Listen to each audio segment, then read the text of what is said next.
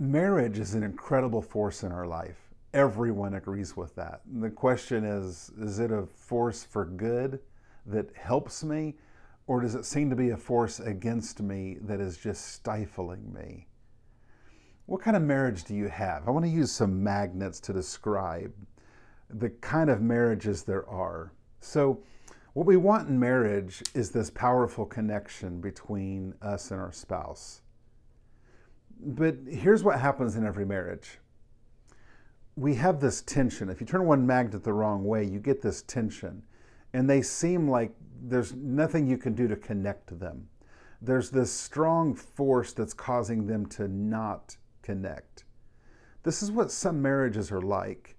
These two people really want to be connected. They want to have this powerful connection, but it feels like all they're doing is in this is in this awkward awkward dance where I sure want to be with you, but I sure hate being with you. I sure want this to work, but I don't see how this can work. And we can just stay in this stance for a long time. Some people who are really faithful stay in this for a long, long time. It's no fun, but they're faithful. And they say, well, divorce is wrong, so let's just keep this awkward thing happening, whatever it is. This marriage is not designed to be in a constant state of tension. There's a second kind of marriage, and that is where one person is kind of the bully over the other person. So this tension is here, and because one person is the bully, they're chasing the other person who's trying to get away from this other person. They may not be trying to get divorced, but they're like, You are so uncomfortable. You're making me so uncomfortable. And they're trying to get away. The other person is trying to just get connected, and they don't realize that the way they're acting is chasing the other person away. This isn't the design of marriage either. There's a third kind of marriage. And that is a very common thing. And that is that when people are growing together, this tension happens and they say, Oh, I don't like this feeling. I, I don't like feeling tension with you. I, I hate this. What's the common instinct? Is to just come back over here. It's like, oh, now there's no tension. Yeah, but there's no connection. We want connection. And although this seems like, okay, there's no fighting, it seems, but there's definitely no connection. And over the course of time, the reason we marry is for connection. We don't marry for the absence of tension. We marry for the presence of a life giving, powerful relationship that moves us, that stirs us, that causes us to feel life's greatest probably the life, life's greatest uh, human interaction, which is the giving and receiving of great love. We're made for this. We, aren't made to be people that, that only experience this vicariously through a movie on, the, on television. We can have it in our real life. We absolutely can. So here's what marriage looks like some people think that when they get married, they start here.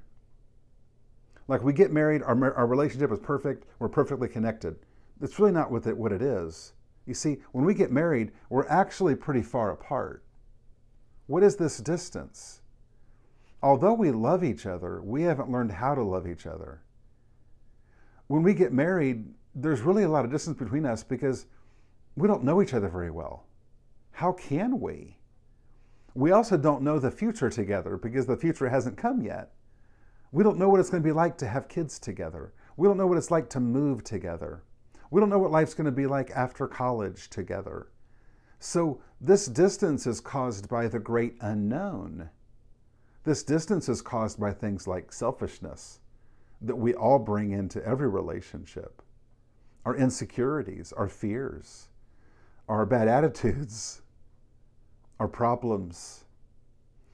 But this tension then happens as we grow in our relationship and get closer. This tension happens. This tension is not bad. This tension, like a smoke alarm, is simply alerting us to something that needs to change. And when something changes, we get connection. I don't know about you, but when you feel a great intimacy with some other human being, even in friendship, it is worth a, a fight or a tension to get this feeling. I don't know about you, but I want to live my life with great love.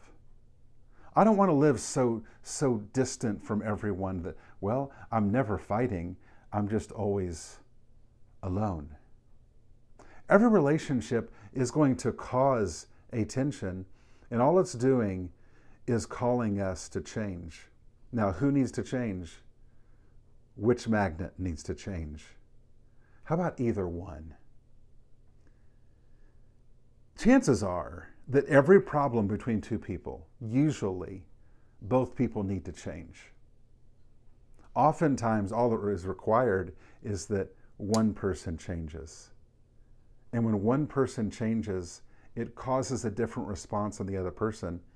But how often do we sit here in the tension and because we're angry, we say, You need to change, and you need to change.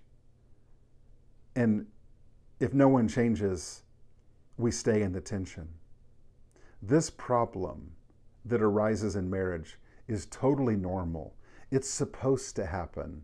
It's just causing, it's just calling us to make a change. And the change that we make, the good news is this the change that we make is not just best for our marriage, it's best for our whole life. Probably the change we make to get this connection in our marriage is going to help us connect with things in the workplace. It's going to help us connect with things in our community. It's going to help us connect with our kids better. Because the change that needs to happen in me to have a powerful relationship with my spouse is also a change that needs to happen to me for the rest of my life.